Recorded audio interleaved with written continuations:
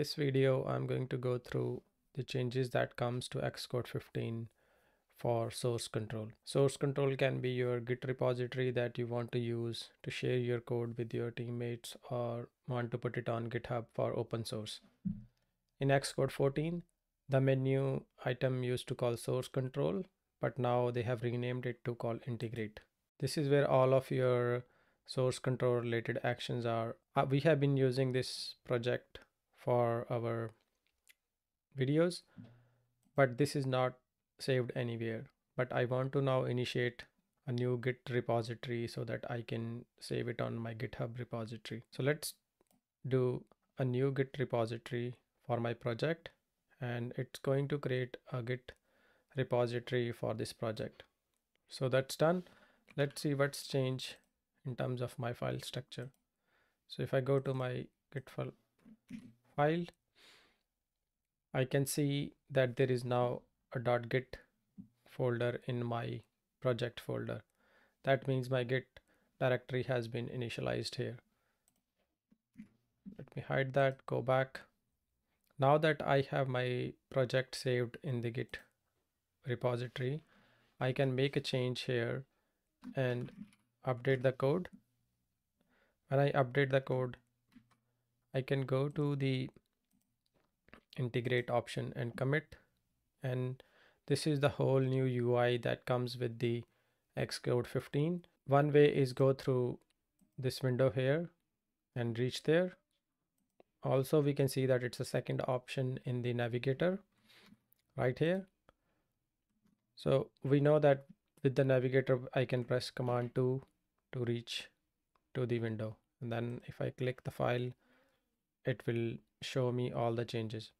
And I can do a lot of things here which I was not able to do previously. One of the things is which I like the most is you can do these changes inline while you are reviewing your commit. What do I mean by that?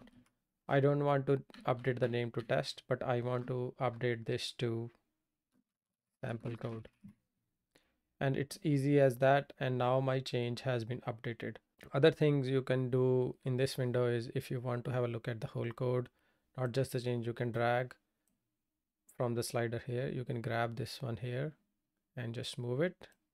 Or you can click this one to show the whole file or just see the modified content go back and you will see the modified content you can stage or unstage your changes. All the changes you are staging will go into your commit and the changes which you are not staging will not go into the commit. Let's say i change the padding to 20 now i have two changes which are in my commit. But let's have a look. These two changes are unstaged changes. These are they are not staged yet. So how do i know that? One thing I know I can come here and see that they are unstaged. Other option is if you look at the bar on the left side, it's not filled. That means this is not changed. And as soon as my stage my change, this is going to fill. So that means my change is staged now. So I can go to unstage now. It will show me only one change. If I go to stage, it will show me two changes which are now staged. I can update my commit message here. Sample code text updated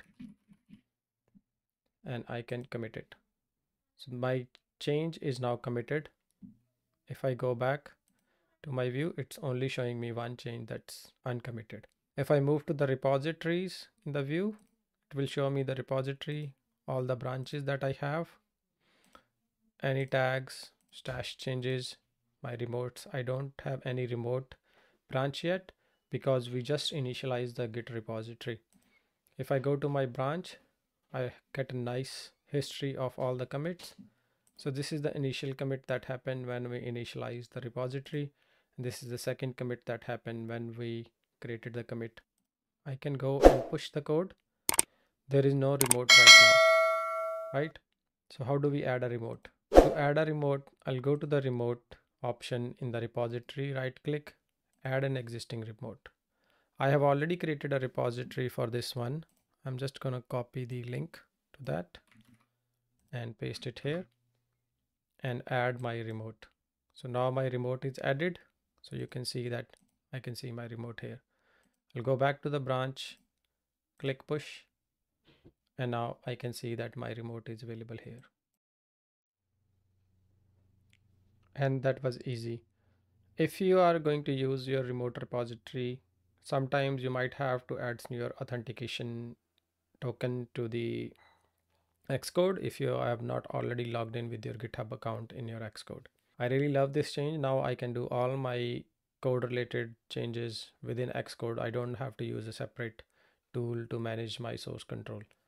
Thanks for watching and I'll see you in the next video.